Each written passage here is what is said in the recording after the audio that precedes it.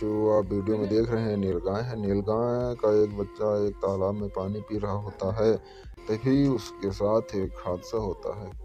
उसके साथ हिरन नीलगाय बहुत होशियार हो मैं पहली बार आए तो प्लीज़ चैनल को सब्सक्राइब कर लें। और इसी प्रकार के वीडियो पाने के लिए देखते हैं क्या होता है तभी एक मगरमच्छ उसे बहुत ज़ोर से लपकता है लेकिन वह बच निकलता है। कितना होशियार होते हैं